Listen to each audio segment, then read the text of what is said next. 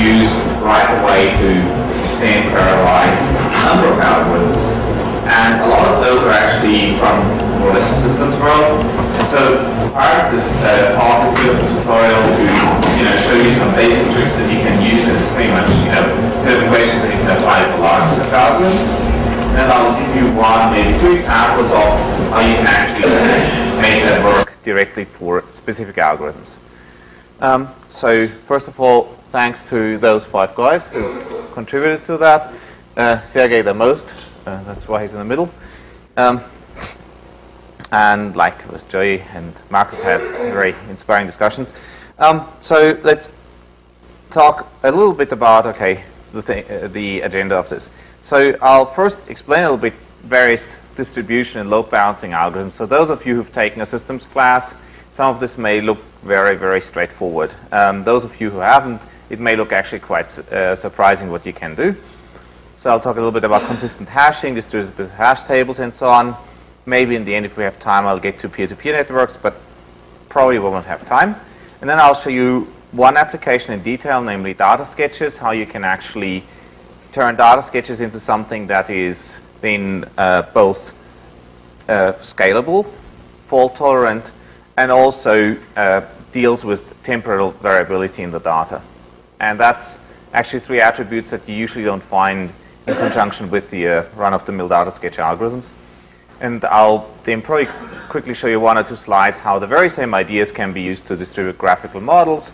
And if you want to know more about the latter, you should probably go to the non-parametric Bayes talk uh, workshop in the afternoon, but don't run away yet.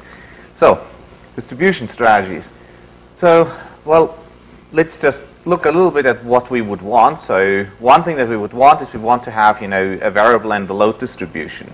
So, in other words, uh, the objects need to be distributed over possibly a large pool of machines.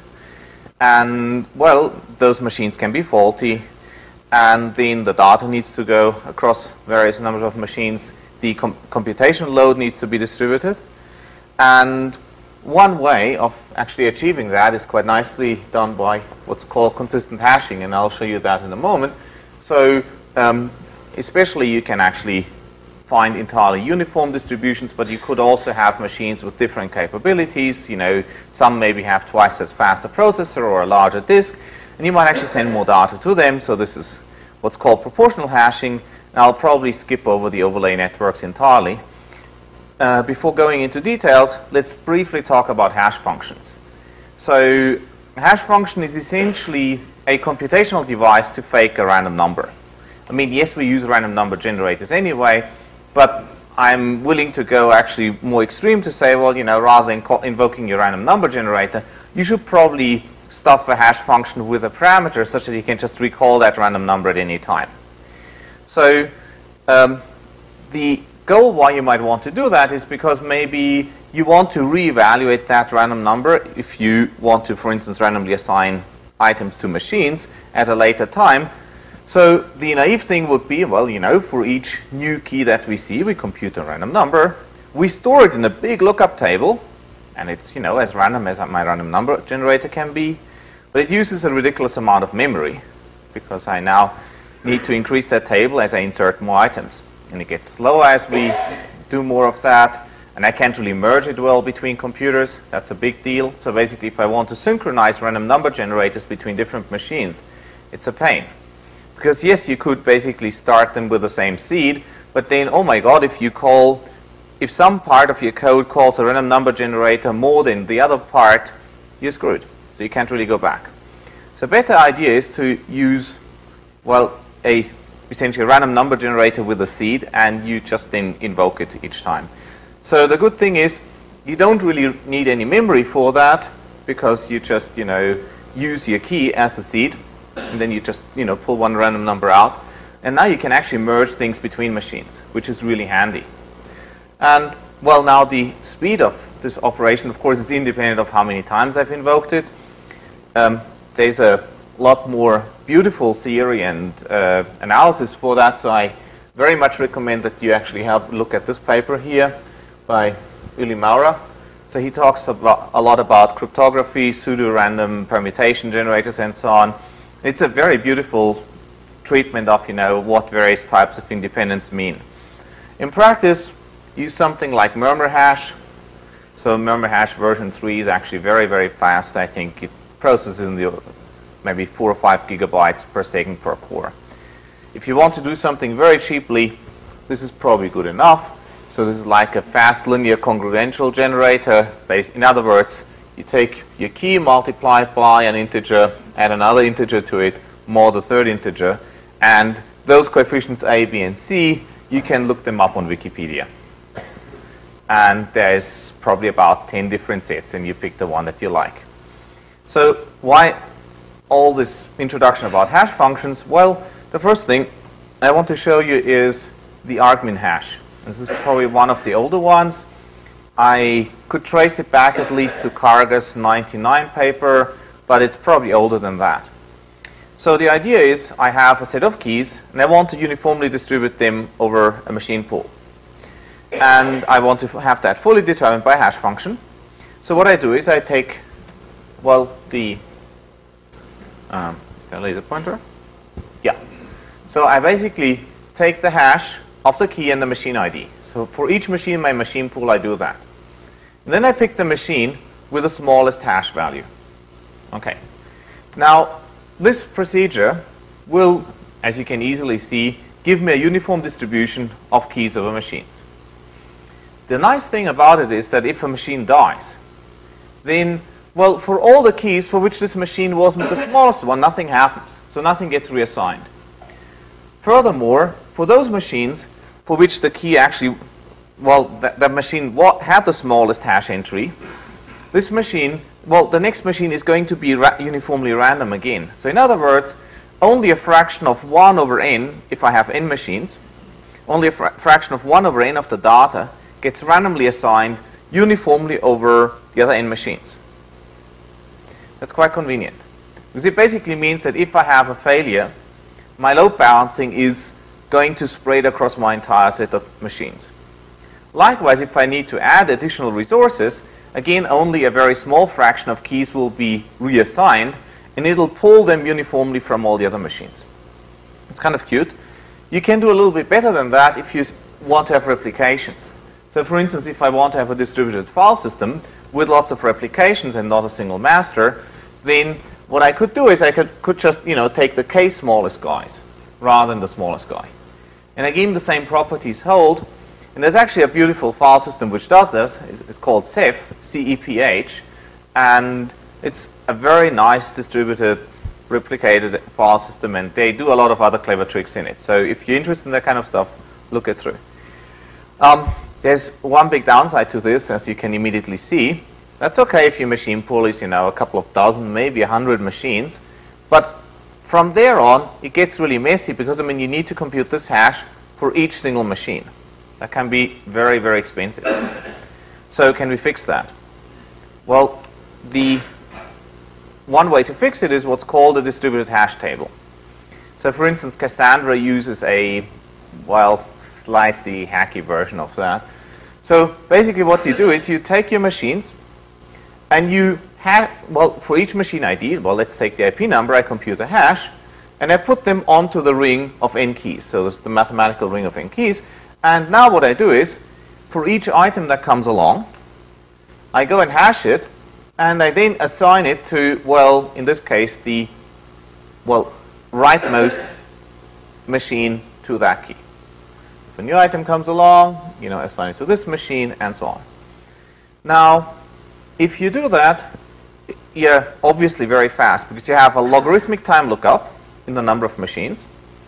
But the problem is that, as you can easily see, those distances here can actually vary quite a bit.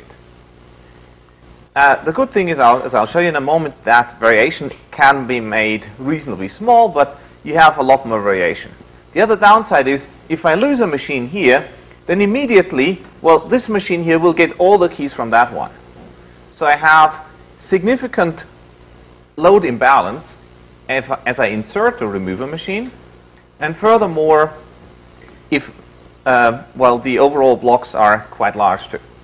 So let's see how we can actually fix that a little bit. Let's first do a little bit of analysis. So as you can reasonably straightforwardly see, you can always define the machine that you're interested in as being at position 0. So then the probability for the, that segment to the right-hand side being larger than C, be, being larger than C is basically just 1 minus C to the m minus 1, where m is the number of machines.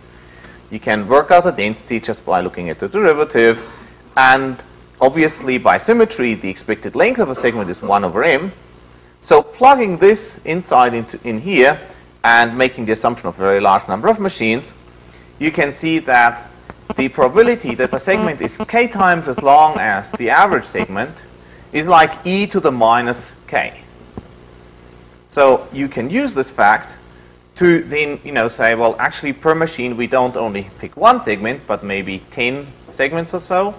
And then you know concentration starts kicking in, and the average say, well, basically the size distribution of those 10 subsegments is much less than you know what you would have gotten with a single one. And then also your balancing operation works better. Um, you can do even more beautiful things. So this is called proportional hashing. So there's, for instance, a very nice paper by Chawla et al. Usenix 2011, which describes that in great detail for designing a video caching system. And the idea is essentially very similar to what you would get in a rejection sampler. So you basically allocate, pre-allocate a certain interval, and then for each machine in your machine pool, you basically predefine a small segment size. And then if your machine, if a key comes along, I go and compute the hash. And okay, well here I hit something. Then I go and compute another hash. Well, I didn't hit anything, so I need to rehash. I hit something. And I keep on doing this until I get something. So you can easily see this now gives me a proportional load balance distribution. However, you can also see that you know once you run out of space, you're done for. So you know you pick that maybe a factor of 10 or something to make sure that there's enough space for improvement. Now, those of you who have built samplers would immediately see this looks awfully like a rejection sampler, right? You have a proposal distribution which is uniform over this larger interval. My acceptance is only if I hit those bins, and I think there's actually some very nice statistical combination, well, connections between you know sampling, load distribution, and machine learning that are worthwhile exploring. Talk to me later if you're interested in that. So a nice application of that are the random caching trees of Akamai from of Karger et al. That's I think pretty much the paper that started Akamai, and the idea is you build random trees for each uh, key, and then well you just th therefore you know are not creating hotspots because you know each key is being cached in a different way. So this would be the master, and those next level uh, nodes would only be instantiated whenever you actually have enough requests. And there's a lot more fun stuff to it. Okay, so this is what you get basically. You get essentially that each node does more or less, you know, uniform work. So now, that's just the background a little bit to give you a bit of an idea of what's going on. Let me now show you what we use this for. Let's take sketching algorithms.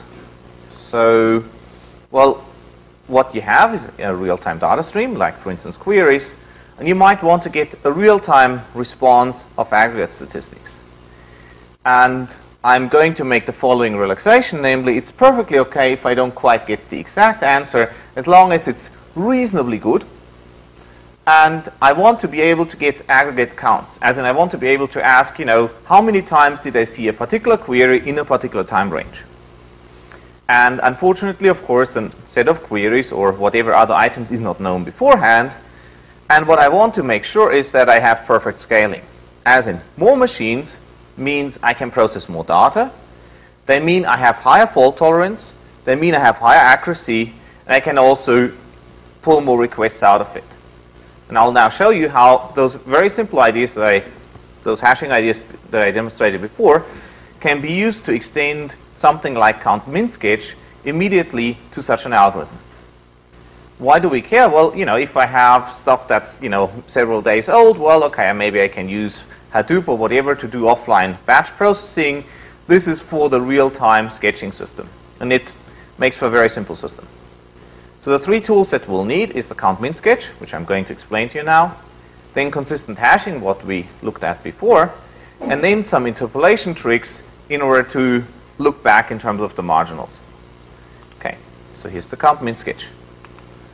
Um, so who of who in the audience has knows how a Bloom filter works? Cool. Okay. Now think of the Bloom filter with integers rather than bits, and you pretty much have the Count-Min sketch. Now, okay, so here, here's what you do. You basically take one row per hash function, so that's a little bit different from a Bloom filter. And the insert algorithm works as follows. For a given key, you compute for each row the hash for this key. And you increment the corresponding bin by one. At query time, I go and look at all the bins that I have touched, and I take the minimum over those bins. So why is this a good idea? Well, first of all, and the, the assumption is we only do inserts. There are interesting variations on that theme, but basically for only inserts, we know all those numbers are non-negative. Furthermore, we know that each of those bins got incremented whenever we saw that particular item. So therefore, each of those numbers is going to be an upper bound. Since all of them are going to be an upper bound, I can take the minimum, it's still going to be an upper bound. So this is a very nice algorithm by Cormode and Muthukrishnan, which does this. So the guarantees, and these are that's a really amazing thing is, I mean, okay, so this part you can see immediately that the count that I get from this is going to be greater or equal than the actual number of counts. You can also see that this is, and this is a little bit more of a proof, but it's actually a very elementary proof, that it's basically upper bounded by epsilon, where epsilon is basically essentially 1 over number of bins times the total number of inserts that I made. Furthermore, if I have a power law distribution, this is actually even better. So this is a very, very nice sketch because it's actually the first, and I'm not sure whether it's so far still the only sketch, that has an order 1 over number of bins dependency rather than 1 over squared number of bins. And so essentially the, the, way how you prove it is you, okay, the lower bound is trivial. For the upper bound, you first prove the expected value, and then you essentially show the probability that you have a certain deviation per hash row, and then you use essentially just, you know, multi you just boost the probability by multiplying them in order to show a tight bound. So it's a very, very elementary proof, and you will enjoy reading that paper. It's beautiful. So the problem, however, is, well, you know, the accuracy, while it's really great, it's like 1 over number of bins, well, at some point I run out of memory, so if I want to have uh, higher accuracy, well, I can't. Furthermore, this works beautifully if I have a single machine where I insert. If I have many machines, well, you know, I first of all need to be able to actually process the data. Secondly, I need reliability. And then finally, this is a fully static sketch. What I want to be able to do is actually get a similar estimate for time series data. Okay, so the second tool we're going to use is now an application of consistent hashing. So, and I'll show you this in about three simple steps. So first of all, how do we increase throughput? Well, that's really easy, right? We have a single machine.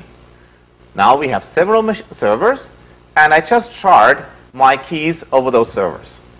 In other words, I just, you know, uniformly distribute the keys over, you know, through this argmin hash. And I could use something different, but argmin is good enough probably for that, I might have dozens of servers. Now, this is really good, right? Because, you know, the accuracy actually goes up like 1 over a number of servers, because now each server gets only a smaller fra fraction of the data. And since the accuracy was amount of data inserted over memory locations, my accuracy goes up, subject to, well, small log factors, but I'm ignoring them here. Furthermore, the throughput increases because if I have k servers, I can insert k times as many keys. But I'm really screwed because the reliability decreases. So if I lose one machine, basically my system goes down. How can I fix this? Now let's look at that part. So suppose you know, here we have various hashes. Each of them go all of them go into one machine. Well, there's absolutely no need for that. I could go and essentially insert one hash per machine. And then the good thing is, you know, I would really have to kill all those machines in order to lose all information about that data. Okay. So, in other words, I now go and insert into, you know, k servers rather than into a single one, and that way I gain reliability. This is great. The accuracy actually increases because now each machine needs to store less data. The throughput is more or less constant depending on my inter-process communications library. But the problem is that you know the latency actually goes up a lot for queries because I need to wait until all servers have returned the argument, and there is no acceleration. Okay, so that's pretty much the opposite end of what I showed you before in terms of scaling up. Now we increase reliability. Next step: can we actually increase query throughput? Well, that's fairly straightforward, right? I just over-insert into more servers. Let's say I need four hashes to get a good answer. I insert into maybe eight machines. And if I have a lot more queries than inserts, you know, I just pick a random subset of four machines out of the eight, the eight that have my data, and I'll be fine. And on top of that, I gain reliability. So this is also easy. Now let's just combine the tricks. So the trick is basically you assign keys only to a subset of machines, you over-replicate them for reliability, and you over-replicate them for query parallelism. And there'll be a picture on it in a moment. So what you do is, again, you use this consistent set hashing. So now, for each key, there will be another random subset of k machines that are responsible for it. Each of them gets one hash function. Make just sure that you seed it with the machine-specific key. Otherwise, if you have the same hash function on several machines, you get no improvement. It's just if you implement it, it's a, a useful thing to know. And then you request from a smaller subset of those machines, and again, you can use consistent hashing to have a random subset depending on the client. So then you can actually prove a few useful things for it. So the useful bit here is, I mean, uh, I mean, simplifying all of this, essentially, you need about one extra machine to hold your sketch if you have, let's say, 10 failures and at least 20 machines. So the argument goes as follows. You basically can pick, you can, well, since hashing randomizes the inserts over the machines, an adversary cannot really screw me in an arbitrarily bad way, because, so therefore I can essentially randomize over the failures. If I assume that they insert into less than half the machines in the machine pool, I can majorize the drawing with without replacement because basically if a machine is dead, well, I can't kill it again by something where the machine gets killed over and over. So this upper bounds the number of failures that I can experience. And then it's a very simple three, four line analysis where you just have a just a binomial expansion to get that inequality. So there's more detail in the paper that's at the moment under submission. It's a very, very simple analysis. So just to show you the picture of what's going on. So here is our machine pool, and we decide to insert into those four machines, and for a query, I pick the random subset of those three machines to get the answer. This scales linearly with the number of servers in terms of accuracy, reliability, and, well, scalability. So this is kind of nice. Now, I haven't told you yet how to fix the temporal aspect. So the time series interpolation essentially works as follows. So the Count-Min sketch is a linear statistic. That's the key idea. So in other words, if I want to sketch two sets, I just sum the sketches and everything's fine. So if I want to get the sketch over a longer time interval, I take the first sketch and the second sketch and I sum them up. Easy. So the other thing is I can also reduce the bit resolution by essentially folding the sketch over onto itself. And so and the good thing is I can do that with the processed data as opposed to ever having to touch the original data again. So let me first show you the time aggregation. So what we are doing is something actually very straightforward. We pick an exponentially increasing set of intervals. So basically 1, 2, 4, 8, and so on. And so each 2 to the at each 2 to the n time steps, I need to compute, okay, so it's not 2n, but 2 to the n, sorry, that went wrong. I need to recompute all the bins up to 2 to the n. The trick here is that I have a cumulative sum where I have the ones twice. That makes everything work out nicely, such that now the cumulative sum is basically just powers of 2. In other words, if I want to compute that interval, I just need to sum over all those intervals if they were consecutively aligned. So what I do is I basically let those intervals age until they are perfectly aligned. Then I do an aggregation sweep and I get the next interval. I'll show you that in the picture in a moment. Um, the good thing is I only have to write into the first bin. This is the only one that's really going to get all the inserts.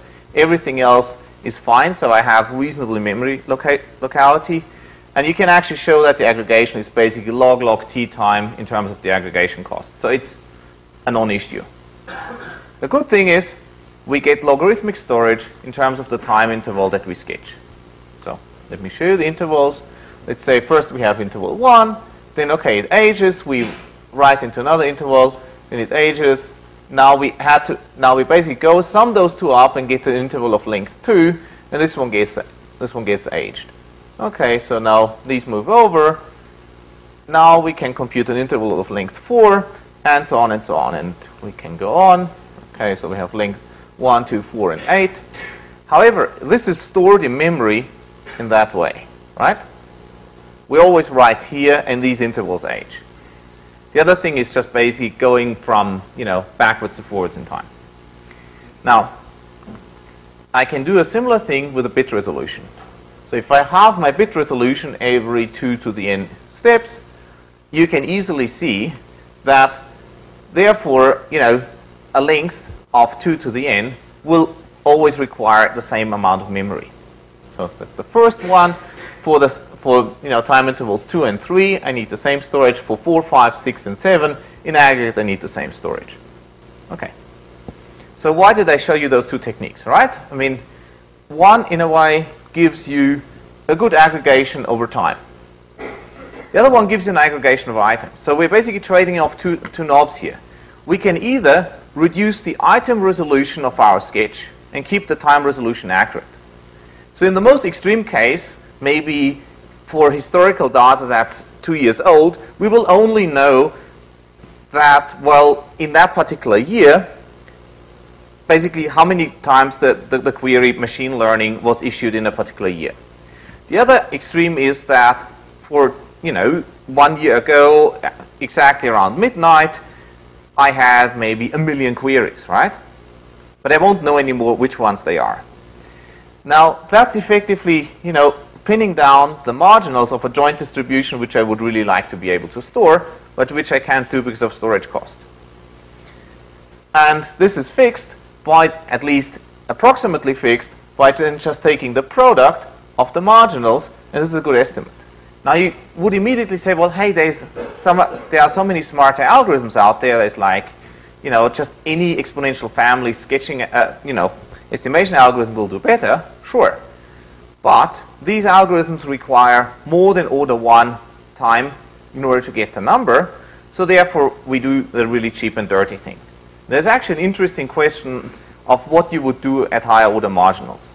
Okay, let me show you very briefly that it works. Okay, some data that we had, it follows a nice power law distribution. And, okay, so here are three sketches that you will see, and it's stratified in an interesting way. So, okay, you can't really see the colors, but basically we compared the sketch which just aggregates over the items, you know, which basically at each 2 to the n time steps reduces the item resolution, one with one that basically just, you know, makes longer and longer intervals and then essentially predicts a piecewise constant function, and then something that uses the product. And the green line is the product, and you can see it's doing reasonably well. The other thing that you can see is that as we get more and more data, this blue line, which basically just reduces the bits, does a bit better. And that's not very surprising because if you have a very heavy hitter, if you look at the original Cormode Muthukrishnan guarantees, you can see that they basically are absolute deviations. And well, I plotted relative ones, so if I have a very heavy hitter, then it doesn't hurt me so much if I have collision with a lot of irrelevant entries. So you could probably do something smart here by switching between those two estimators. Um, the fact that these purple curves have slight peaks here has to do with the fact that this is a non-uniform volume. So of course, if you have a lot of volume, well, the error will also go up, especially if I estimate something as piecewise constant. Similar figures I can show you for different error measures and things behave qualitatively the same. This is probably quite interesting. Here's the number of read requests and on the next slide the number of insert requests. over now between, well, basically 1 and 10 servers. Obviously, if I have, if I want to read from at least three machines, I need to start here, and for five machines, I need to start here. But what you can see is it's basically linear scaling. So this is as, as good as it gets. Similar thing here. Um, you can use the same tricks for other sketches. So you have, for instance, a space-saving sketch. In that case, well, okay, I can't really go into much detail how it works, but basically you, you use the very same machinery. Okay, we're going to skip peer-to-peer, -peer, and I'm quickly going to show you more or less the same picture here. So for distributing random variables in an inference procedure, again you have essentially a tree, well you basically need to build a replica tree. And that replica tree is instantiated through a tree which respects, you know, the layout that you have within your cluster. Within a rack, you want to be as flat as possible because you sit on a switch. You have perfect, you know, communication. Between the racks, well, you probably want to use the, uh, well, take, well, basically respect the fact that, you know, your between rack bandwidth is a lot lower than the within rack bandwidth. And, okay, I can talk about synchronization distribution fault tolerance. Joey told me anyway that my time's up. Here's um, a very, very brief thing that you sometimes may want to worry about, namely, suppose I have, you know, K machines that need to talk to another set of K machines. And suppose that the messages that each of those machines have is like, you know, one over number of machines. So basically, the more machines I have, the smaller, the smaller packets each machine needs to tell to another one. So if I then just naively let them all talk to everybody at the same time, I will get a very low data rate between any pair. This is really bad because basically my switch and my entire TCP IP stack will create big overheads. So one way to fix this is to actually, you know, schedule who talks to whom in a specific order. Now, if I were to, you, you could always think, okay, let's just pick a nice, you know, synchronous order. But that's not a good idea because as soon as a single machine is delayed, all the delays pile up and bad things happen. So what you can do instead is you just essentially sample with replacement um, by picking a random schedule for each machine. Now, if you do that, and I just pick, you know, one machine at a time, I create two problems.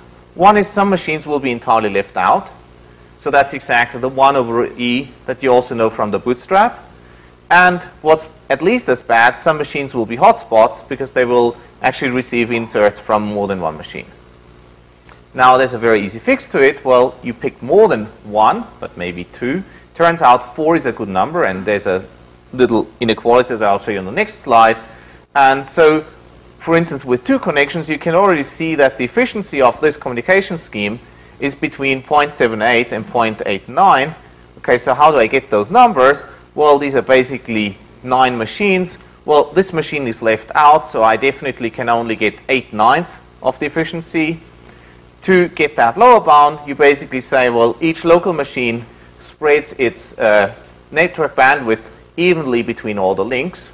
And then I just add up whatever I get here. If I have, you know, let's say three edges coming in, I just throw one of them away. And that gets you the lower bound. In practice, it's somewhere in between. That's just for this specific random graph. In general, you can get this inequality in the, in the limit of large number of machines. And essentially, four simultaneous connections are enough. If you do that, that's what you get. And I think now I've really overstayed my time. So it's just, well, 2 billion documents, not million, billion on a thousand machines. And that's basically a, essentially, you know, Gibbs sampler procedure to, well, do some user profiling. So the last slide, and this is essentially what you could almost use as a somewhat of a research agenda, is take your algorithm, ask what happens, what guarantees can I get if some of the machines die. Furthermore, I want to have linear scaling as I throw more hardware at the problem. The third issue is, well, I actually have communication constraints because, well, I have non-uniform connectivity structure within my server centers, and I want to keep parameters local. And this gives me a lot of really fun questions. One corollary, if you design the algorithms, try to avoid having a master. Because masters are single points of failure, and you have to work hard to make them go away. Okay, that's all I want to say.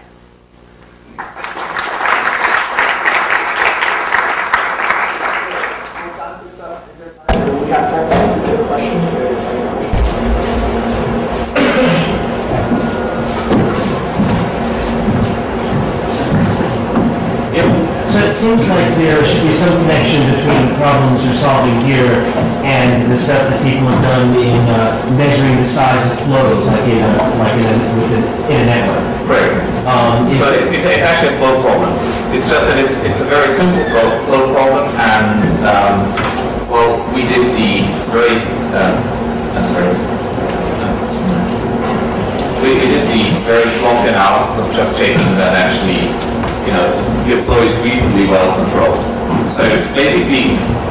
80% was good enough for us because everything beyond that is just, you know, lost in your network stack anyway.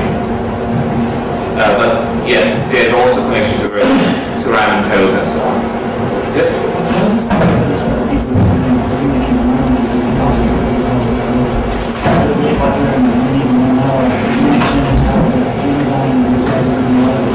Yes.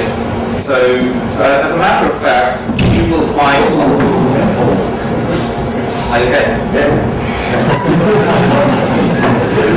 You will.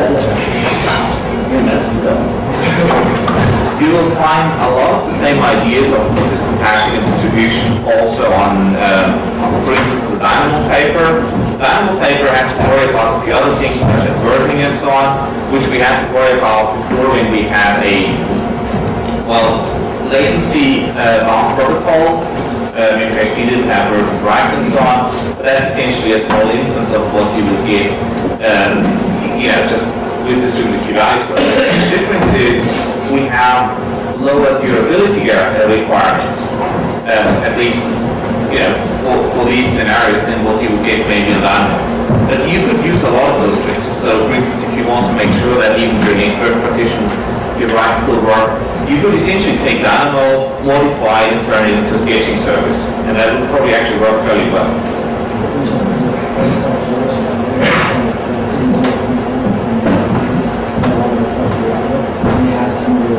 Okay. Thanks. I mean, thanks for the point. I mean, I'll definitely look it up. I mean, a lot of really cool things in sketching have happened recently, uh, as in maybe the past five years, five to ten years. So uh, it may be a good idea to revisit some of those old ideas and just, you know, update them uh, with modern data sketches. Let's thank Alex one more time.